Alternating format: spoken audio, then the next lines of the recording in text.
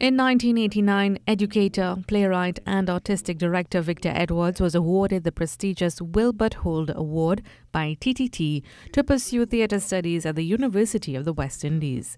Little did he know that he would one day receive the Chaconia Medal Silver. And I hope that I have made TTT and the, the, the, the management at the time and this management uh, proud of the work that I have done. Um, I must say that TTT shows one of my plays every year. A lot has transpired in his career since TTT awarded the 68 year old the scholarship, and he believes the company played a critical role in him receiving the national award this year. I think I've gone from strength to strength um, in, in, the arts, you know, and promoting the arts throughout Trinidad and Tobago and the Caribbean as well.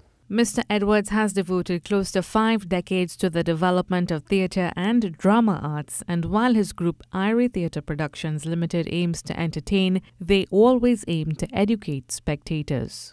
The people who uh, interact with the work that I do, they, they're always amazed about how much they learn as Trinidadians about the history and the culture and so on of Trinidad and Tobago. It's really a satisf- it really, really is a satisfying work. He is hopeful that the younger generation will continue to develop the art form. I, I don't want the, the, the, award to be like a, an albatross around my neck, you know. It's for work that was done. There's so much work that needs to be done still. He said theatre must continue to represent the people of this country. Because we all have stories, you know. Yes. Every community has a story.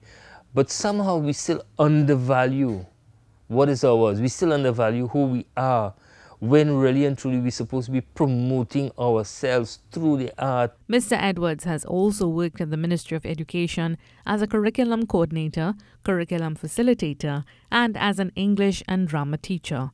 Through his position, he was able to introduce theatre arts into the secondary school curriculum in 2003.